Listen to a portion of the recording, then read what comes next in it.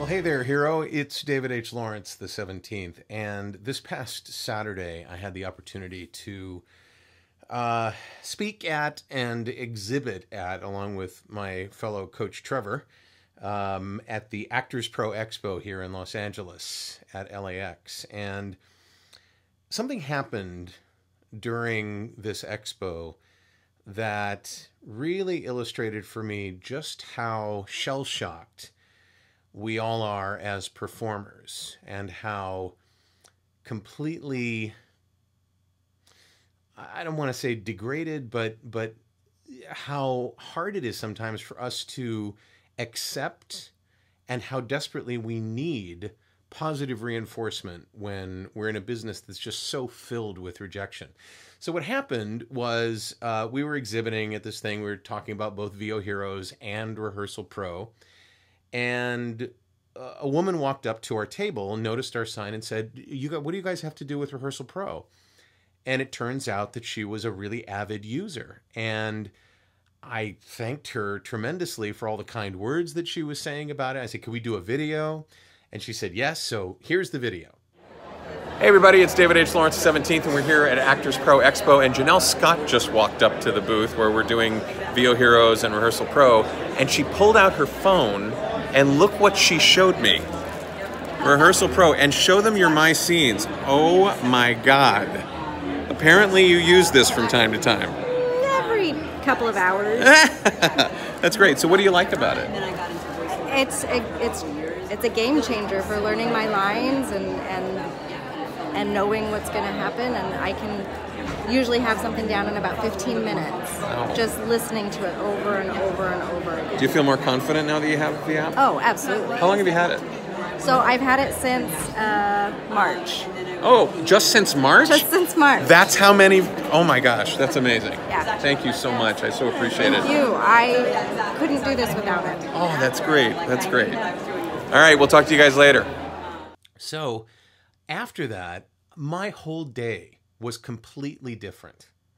You know, I realized just how used to negative feedback I am when it comes to the app because our help files take care of people, they show them how to use things with the app and you know, Rehearsal Pro in general is a you know a pretty reasonably you know reliable app to to deal with. You know, on most occasions.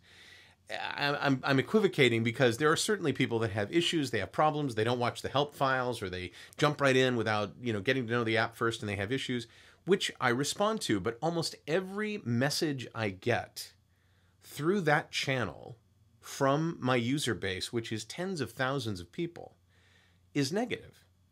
I don't get email on our help support ticket system from people saying good things about the app. They're they're having trouble, they're having issues, and it can color how I feel about how happy people are with the app. Then along comes this woman Janel who tells me these wonderful things. She shows me just how many scripts and scenes she has and how great it's working for her and how we've we've saved her so many t- I mean I, I literally walked around floating on a cloud. I thank you again, Janel. If you're watching this video, thank you so much again. I, I you can't believe how how how lovely that was. But it made me think for all of us as performers, and in fact, all of us as human beings. I bet that we have a very very tinted uh, idea of what people think about what we do, what we say, how we perform, our expertise on things, because we probably only hear from people, for the most part, who have an issue with us, who want to help, want help. uh, You know, they want us to correct things, they want us to do things better. You know, and it drove home a point for me that we should always provide positive feedback when we feel it, if we can. If we have an opportunity to say good things about something, say it. Don't just use reviews and ratings and and feedback loops and conversations with people about how to fix things or how things are bad and they need to be better. If things are working for you, if things are good, then say so. Give that person that positive feedback. Look what look uh, look what it did for me. I can only imagine that if you got some really great feedback rather than this constant silent rejection that we get as voiceover performers and on camera performers, how much better we'd feel about ourselves and our lives. Mm. It just made me realize that we've all made a choice to be in a business that it's hard to do that. It's hard to get that positive uh, reaction. So I'm going to make it a point to tell anybody whenever I can when they're doing something right, catch them doing something right, and let them know about it. So tell me what your thoughts are on this. I'd love to know. Let me know in the comments below, especially if you're watching on VOHeroes.com.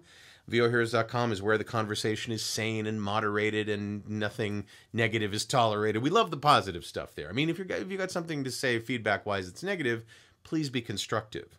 And we make sure that that happens. Also, if you'd like to be on my list, if you scroll all the way down to the bottom of the page below this video, you'll see a little form you can fill out called Get on the List, and we'd love to have you on that list. We'll tell you when these new videos are coming out for the rest of the year. I'm David H. Lawrence, the 17th, uh, and beyond. I'm David H. Lawrence, the 17th. I thank you so much for watching, and I know you've done something really good recently. Whatever it is, congratulations. I'll talk to you tomorrow.